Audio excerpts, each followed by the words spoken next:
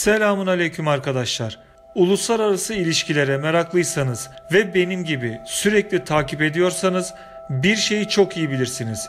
O da iddiası olan bir devletin planlarını günlük olarak değil 30 yıl, 50 yıl hatta 100 yıl sonrasına göre yaptığı gerçeğidir. Yunanistan gibi mendil kadar devletimsi bir yapıysanız iddianız olmaz.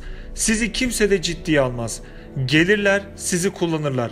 İstediklerini yaptırırlar. Güçlenmeniz de sizi kullananları rahatsız etmez. Çünkü bilirler ki yapacağınız hiçbir eylemde sizi kullanana zarar vermezsiniz. Yunanistan gibi ülkecikler tarihleri boyunca her zaman maşadır. Elini ateşe sokmak istemeyen devletlerin kullanacağı piyondur. Ancak siz Türkiye iseniz, güçsüz de olsanız her zaman kontrol altında tutulmaya mecbursunuz. Siz Türkiye iseniz boş bırakıldığınız an yayılmaya başlarsınız. Ve siz Türkiye iseniz güçlenmeye başladığınızda eski tarihi hesapları gün yüzüne çıkarır ve atalarınızın izinden gidersiniz. Yıllarca yurtta sus, cihanda sus ya da daha açık ifadeyle yurtta ez, cihanda sus politikasıyla bizi dizginlemeye çalıştılar. Ne yazık ki bunda da uzunca bir süre başarılı oldular. Kendi halkını sürekli ezen, onun değerleriyle çatışanlar yurt dışında aman efendim, tamam efendim, ne isterseniz kabul efendim mantığıyla hareket ettiler. Sırf batı üzülmesin diye uçak fabrikalarımızı kapatıp tüp gaz tesisine çevirdiler. Sırf onlar üzülmesin diye devrim otomobilimizi doğmadan öldürdüler. Sırf onlar üzülmesin diye savunma sanayimize yatırım yapmak isteyen iş adamlarımızın hayatını kararttılar. Ve yine sırf onlar üzülmesin diye yıllarca eğitim kitaplarında başta Osmanlı olmak üzere tüm tarihimize hakaret ettiler, kötülediler. Neden mi? Çünkü Batı ve içimizdeki maşaları çok iyi biliyordu ki Türkler tarihini hatırladıkları an kendisine zorla kahraman diye anlatılanların ne olduğunu görecekti. Türkler tarihlerini hatırladıkları an kendilerinin Osmanlı olduğunu, Selçuklu olduğunu, Göktürkler olduğunu, Büyük Hun İmparatorluğu olduğunu bilecekti. Tarihimizi bilmeyelim, kim olduğumuzu hatırlamayalım diye on yıllarca bize narkoz üstüne narkoz verdiler. Böylece uzunca bir süre zoraki reklam arası verdirdiler. Ancak bir yere kadar. 2000 yılı milattır. Türk devletinin gerçek sahipleri bu gidişata dur demeye karar verir. Devlet baştan aşağıya yenilenme sürecine sokulur. Ekonomide, savunma sanayinde, teknolojide büyük atılımlar yapılır. Ayağımıza pranga olan parlamenter sistem terk edilip başkanlık sistemine geçilir. Türkiye hızla büyümeye başlar. Tabi biz büyüyünce batılı devletler yavaş yavaş Türkiye'de neler oluyor diye konuştular. İlk başta bunun fazla sürmeyeceğini hesapladılar. Baktılar ki Türkiye durmayacak, saldırıya geçtiler. Türkiye savunmada ve ekonomide istediği seviyeye yaklaşmak için bu işin doğası gereği tıpkı mehter takımı gibi 3 adımda bir durarak dış politika uyguladı. Arkadaşlar dış politikada hiçbir ülke istediği politikayı istediği şekilde uygulayamaz. Yeri geldi mi hamle yapar, yeri geldi mi bir süreliğine geri adım atar. İster Amerika, ister Rusya, ister Türkiye olsun. Bu kural hiçbir ülke için asla değişmez. Dış politika mehter takımı gibidir. Türkiye bazı konularda geri adım attı ancak bu zafiyetten değildi. O anki koşullara göreydi. Ancak bu geri adım bizi asla esas hedefimizden vazgeçirmedi. Biz güçlenmeye başlamıştık. Artık kendi silahımızı yapıyorduk. Avrupa'nın beklemediği ölçüde çok büyük hızla silahlanıyorduk. Güçlendikçe yurt dışına özellikle Osmanlı coğrafyasına dönüyor, üsler açıyorduk. Güçlendikçe yeniden büyük Türkiye diyorduk. Birçoğumuz bu kelimenin ne anlama geldiğinin bile farkına varamadı. Devlet Erdoğan aracılığıyla yeniden büyük Türkiye derken aslında içeriye değil dışarıya mesaj veriyordu. Halkımızın büyük çoğunluğu bu sloganı güçlenen Türkiye olarak anlarken batılı devletler bu cümleyi yeniden Osmanlı olarak anlıyordu. Devletimizin esas verdiği mesaj da yeniden Osmanlıydı. Batı artık bizim niyetimizi iyiden iyiye anlamıştı. Türkiye'de yaptığı hamlelerle bunu artık açıktan açığa gösteriyordu. Yurt dışına üsler açtık. Şu an 12 ülkedeyiz. Herkes savunma sanayinde sadece zırhlı araç, tank, top, füze yaptığımızı sanıyor. Oysa ki Türkiye bunları çoktan aştı. Devlet geleceğin silahlarına yatırım yapıyor. Elektronik harbe, kendi kendine hareket eden silahlara, siber taarruza yatırımlarını yoğunlaştırıyor. Bölgenin en güçlü donanmasına sahibiz. Türkiye bununla yetinmiyor. Artık küresel çapta donanma hazırlıyor. TCG Anadolu gemimizin ilki suya indi. Yakında ordumuza teslim edilecek. İkincisinin yapımına yakında başlanacak. Hava savunma fırkateynlerimizin ilkinin yapımı devam ediyor. Yakında diğerlerinin de yapımına başlanacak. Denizaltılarımız en modern olanlarıyla değiştiriliyor. Seyir füzelerimiz envantere girdi. 1000 kilometre ve üzeri gezgin seyir füzemizin yapımı son hızla devam ediyor. Türkiye her ne kadar dillendirmese de savunma sanayimiz 2500 kilometre menzille balistik füzemizin yapımını yakında tamamlayacak. Bunu çok yakında tüm dünyaya ilan edecek göreceksiniz. 5. nesil savaş uçağımız 2023'te hangardan çıkacak, 2030'da envantere girecek. Atak 2 helikopterimiz 2024'te ordumuza teslim edilecek.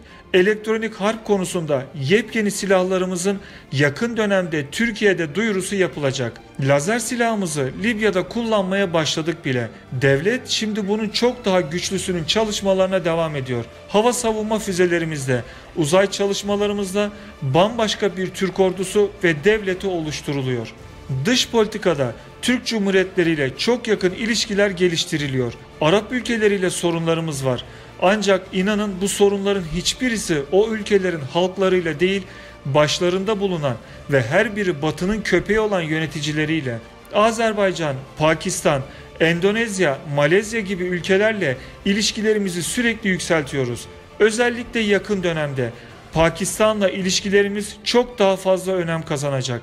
Çünkü bu kardeş ülke bize nükleer konuda büyük destek verecek. İster kabul etsinler, ister etmesinler. Suriye'ye yerleşiyoruz arkadaşlar. Türk askeri bir yere girdikten, hele de şehit verdikten sonra oradan asla çıkmaz. Göreceksiniz Suriye yakında üçe bölünecek ve Suriye'nin kuzey tarafı referandumla Türkiye'ye katılacak. Buna hayal diyenler çıkacaktır. Ancak son zamanlarda Avrupa basınını takip ettiyseniz onlarda da bu düşünce yavaş yavaş dillendirilmeye başlandı. Türkiye Hatay'da yaptığını mı yapacak diye makaleler yayınlamaya başladılar. İdlib'e daldık. Hiçbir harekatımızda olmadığı kadar silah ve askerimizi İdlib'e yığdık. Rusya, Türkiye'nin İdlib'e müdahalesi en kötü senaryo olur diye açıklama yapınca Erdoğan umarım Rusya o kötü senaryonun içinde olmaz diye cevap verdi. Böylece Rusya'da dahil karşımıza kim çıkarsa çıksın durmayacağımızı gösterdik. Bunun üzerine Putin Erdoğan'la yaptığı görüşmede Rusya'nın Soçi mutabakatı ve Astana sürecine bağlılığının devam ettiğini söyledi. Doğu Akdeniz'de her şeyi göz aldık. Gerekirse ölümü göze aldığımızı herkese gösterdik. Yedi düvele meydan okuyoruz. Devlet gözünü tamamen karartmış durumda. Doğu Akdeniz'de bize ait olanın kimseye verilmeyeceğini en üst perdeden söyledik. Gidip Libya ile anlaşma imzaladık. Yunanistan, İsrail, Rum kesimi ve Mısır arasında imzalanan, arkadan da Amerika'nın desteğiyle oluşturulan anlaşma bölgesine adeta hançerimizi sapladık. Bu sapladığımız ikinci hançerimizdi.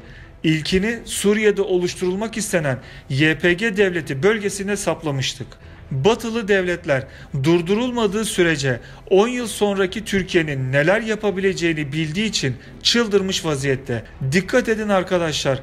İslam ülkeleri içinde en çok bize saldırmaya, en çok bize zarar vermeye çalışıyorlar. Asla vazgeçmiyorlar, vazgeçmeyecekler. Türkiye de vazgeçmiyor.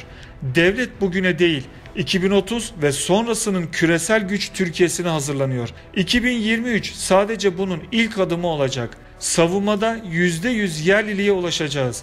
Şu an geliştirdiğimiz tüm silahlarımızın tamamı 2030 yılında ordumuzun kullanımında olacak. 2030'da dünyada 4 tane büyük finans merkezi olacak. Londra, New York, Hong Kong ve İstanbul. Özellikle İslam ülkelerinin para merkezi İstanbul olacak. İstanbul'a devasa yatırımlar yapılıyor.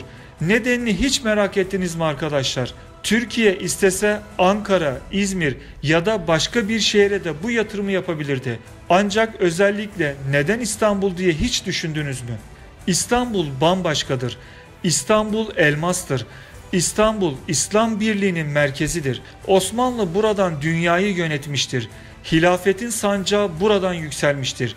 Yurt dışına çıkmadıysanız bile buraya gelen Müslüman öğrencilerle konuşun. Hemen hemen tamamı İstanbul'u hala hilafetin merkezi olarak görür. Hilafet kaldırılmış olsa da bu kurum hala bizim elimizdedir. Biz güçlendikçe bugün sorun yaşayan birçok ülke bize bağlanmak isteyecektir. Hep beraber şahit olacağız arkadaşlar. Suriye ve Lübnan bize katılmak isteyen ilk ülkeler olacaktır. Arkasından Libya gelecektir. Biz güçlendikçe krizler içinde olan İslam ülkeleri teker teker Türkiye'ye gelecek, gücümüzü kabul edecektir. Hilafet İstanbul'dan kalktı, tekrar oradan yükselecektir. Birçok yerde karamsar insanlar karşımıza çıkıyor. Onlara sakın aldırış etmeyin. Bırakın ezik dünyaları içinde batı hayranı olarak heykelleriyle yaşamaya devam etsinler. Bizim ideallerimiz çok büyük. Biz atalarımız olan Osmanlı'nın, Selçuklu'nun ve diğer Türk devletlerinin izindeyiz. Bizim ideallerimiz çok büyük. Biz Türkiye'nin yeniden ayağa kalkmasının derdindeyiz. Bizler dünyaya Fatih'in, Kanuni'nin, Metaha'nın, Yavuz'un gözüyle bakıyoruz. Ömrümüz olur mu o günleri görebilir miyiz bilemem. Ama bir gün başkent tekrardan İstanbul'a taşınacaktır. Biz göremesek de bizden sonraki nesiller mutlaka buna şahit olacaktır. Çünkü yeniden büyük Türkiye oluştuğu an İstanbul kesinlikle eski ihtişamlı günlerine dönecektir. Çünkü tarih bunu mecbur kılmaktadır.